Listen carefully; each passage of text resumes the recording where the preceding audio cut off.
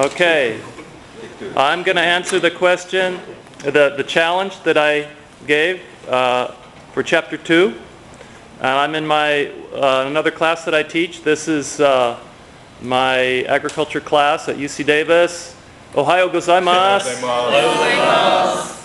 It's a class of Japanese uh, trainees, so they just say good morning in Japanese. So, all right, now. Uh-oh. Okay. So what I, uh, my challenge was to, to tell me what the problem is with this illustration. So you have, we have a deforested watershed, uh, and we have an intact watershed.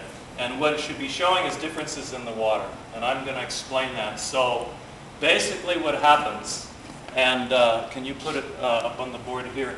Here we have an intact forested watershed. Thank you. You. Yep. Um, and basically, when it rains, what we get is you get infiltration into the gra- into the soil and into the ground, which becomes groundwater. The water, the rainwater, becomes groundwater. And over the summer, when it's dry, as in this photo, there's blue sky.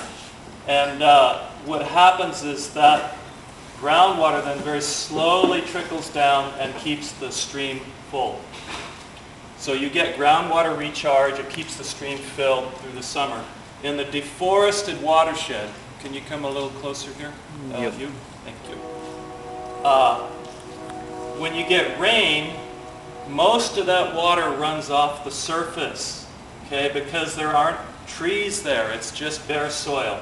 And what happens is you get a big swelling of the creeks and rivers when, uh, when you have a degraded watershed like that, and it cuts the stream bank, and then uh, a couple of weeks, you come back a week later, and that water is really low because the water has all run off the surface. It, it's eroded uh, the, the, the soil into the stream. So during the storm, you see a lot of brown water.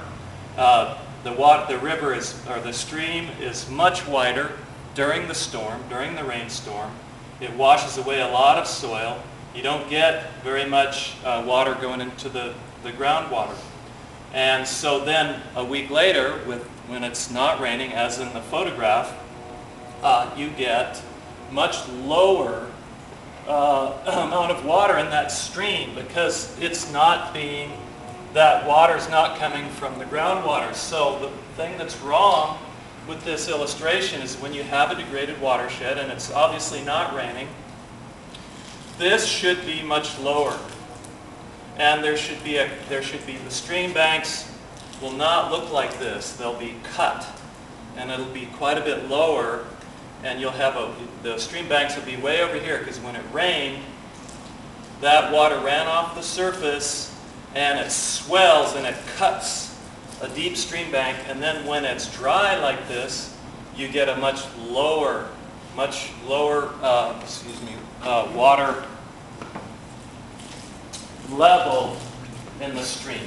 And so that's what's wrong with this. And the illustrator, of course, they're illustrators. They're not scientists. They're not ecologists. So that, and, and you're going to see that a lot in uh, when you hike out in areas that are uh, where there's timber cutting, where there's any kind of deforestation, where there's grazing by cattle. You're going to see this. You need to learn to recognize that. You're going to see in the You'll be hiking usually during uh, you know, a dry time. You're going to see a much wider stream bank, lots of rocks in here, and a steep uh, stream bank, and I'll try and get some pictures that I have of that. Versus when you have a forested watershed, it's protected, and you're going to have that nice deep stream. Okay? That is the answer to the Chapter 2 challenge. Thank you. You? Yep. Can you push the button? Okay.